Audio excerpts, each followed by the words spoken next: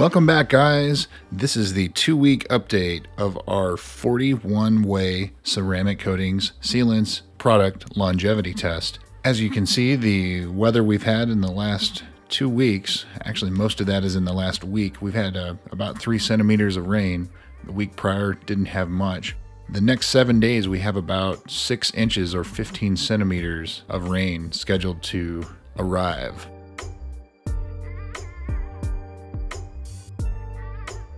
You'd like to support the channel, patreon.com slash scotthd. And there's Venmo, PayPal, and where you can send some fan mail if you'd like to. As usual, we'll do the foam it down, rinse it, foam it, wash it, rinse it, and then of course we will inspect all the hydrophobic properties. Make sure you're subscribed, hit the like button, comment down below. It does really help out the algorithm so more people get to see tests like this.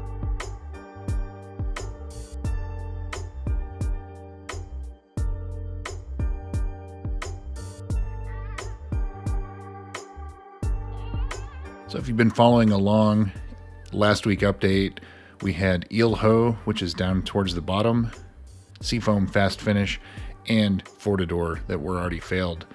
CQuartz Finest Reserve, CQuartz Professional. Professional definitely looks a little more hydrophobic than Finest. And we know that Fortador had already failed. I did adjust the contrast for this video so you can see the so you can see the hydrophobics a little bit better. It does weird things to the orange and to the spray, just so you're aware. Apex Rehydra Bead looks okay. DPC T3 and T9 both looking all right. Very hydrophobic. Apex Metal Oxide Coating by Art to Shine looks good.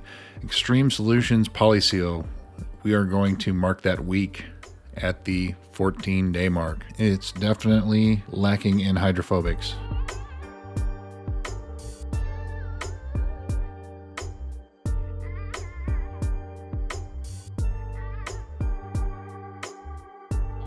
Nanoskin Ultra T1, not quite calling it weak, but you can see it is definitely getting there.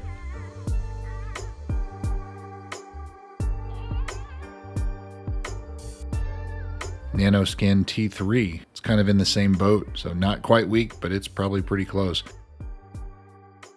Nanoskin ceramic sealant. We are calling that one weak. It is almost to the point where we'd call it failed, but it's it's still got a little bit. So we'll give it the benefit of the doubt this time, but that's pretty disappointing. 14 days.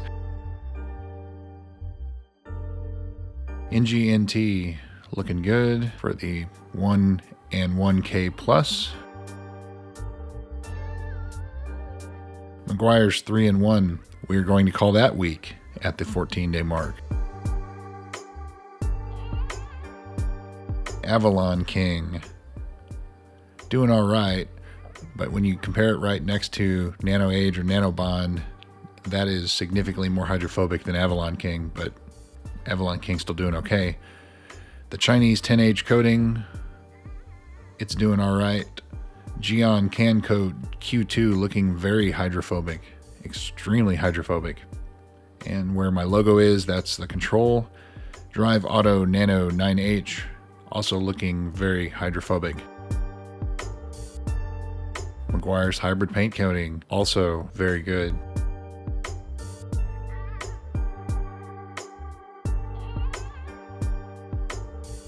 NuFinish, spray ceramic, very hydrophobic. Undrdog Sauce Pro, also very hydrophobic. Glossit 10H and 5H, doing good. NGNT 2 and 3K, looking good as well. Griot's 3 and 1 SiO2, looking good. Gtechniq Ultra, very hydrophobic.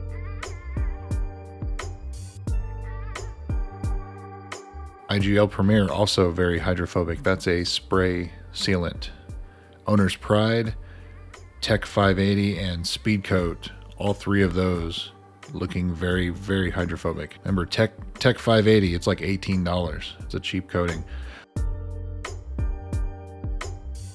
Lone Star pre-production IGL Easy Graphene. Looks like my my sprayer is on fire. That's not the case. That's just the that's the adjusted contrast. Ilho 12H graphene failed. Chemical Guys Hydro Slick and Hydrocharge, both of those we're going to mark weak at the 14 day mark. Water's sticking to them pretty good to the point where they're almost failed. Chemical Guys uh, Carbon Force, it's looking good, as is Ammo Reflex. So there's your two week update. Lots of changes. Sorry about the clipping on the sides there. I had my large lens lens hood on because it was very bright out. Any surprises? I think I'm I'm more surprised NuFinish the ceramic spray. I'm surprised that it's doing this well at the two week mark. Uh, it's a it's a new product. That's that's kind of the one that has been a big surprise for me. Uh, there you go, guys. Please like, subscribe, comment down below. Thanks for watching. See you soon.